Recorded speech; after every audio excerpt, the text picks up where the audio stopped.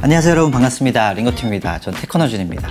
네 오늘은 머신 tutorial 에피소드 4편인데요. 전 시간에 찍었던 드럼 비트에서 킥을 808 sub bass 음색으로 바꾸고 라인을 만들어서 레코딩을 한번 해볼까 하고요. 그 위에 신디사이저도 하나 추가를 할 예정입니다. 끝까지 시청해주세요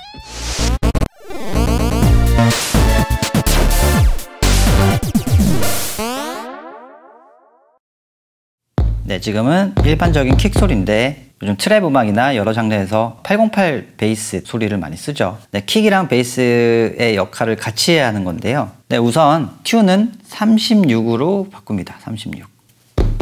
네, 그러면 얘를 치면 도가 됩니다. 도. C가 된다는 얘기겠죠.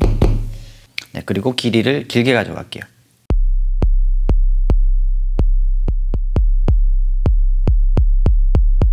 그리고 이번엔 키보드 모드에 대해서 좀 알아볼게요. 키보드 모드는 방금 선택한 이 킥을 다른 피치로 연주하고 싶을 때 씁니다. 키보드 모드로 들어가서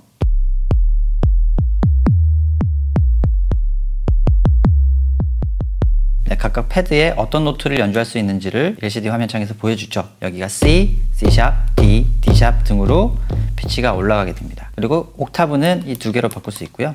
한 옥타브로 올려서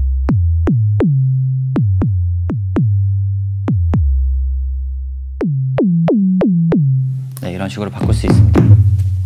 그러면 지금 피치 modulation의 타이밍이 좀 긴 것 같아서 좀 줄이고요. 네, bend도 좀 줄여볼게요.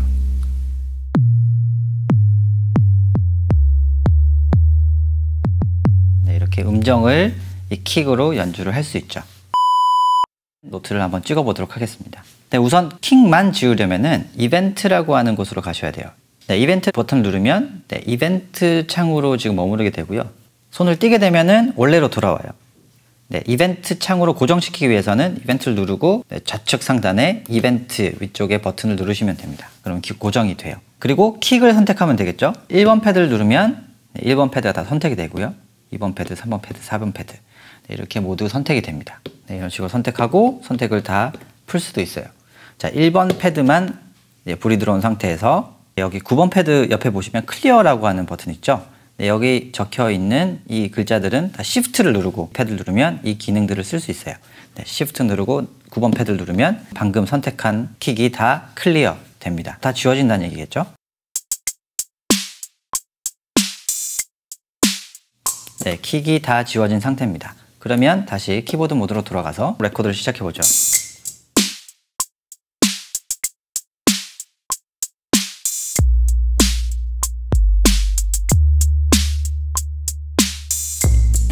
네, 레코드를 끝내고 멈추도록 할게요.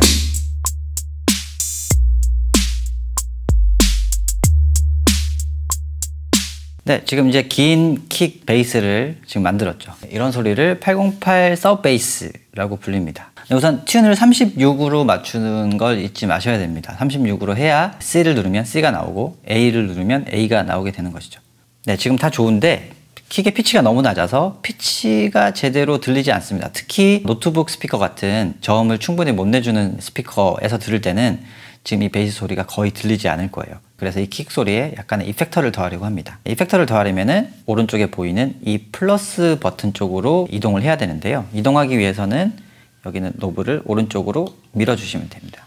네, 그러면 여기에 사각형 박스가 생겼죠. 이 상태에서 knob를 누르시면 돼요. 그러면 오른쪽에 또 역시 고를 수 있는 effector들의 종류들이 쭉 보입니다.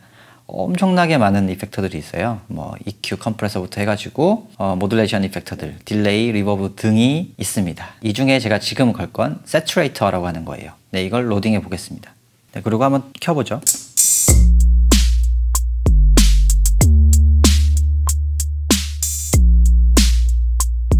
네, 그리고 드라이브를 올리면 소리가 더 일그러지고요. 드라이브를 내리면 네, 좀 더 깔끔한 소리가 되죠. 그리고 파라미터를 돌려서 원하는 톤이 나올 때까지 실험을 해보시면 됩니다.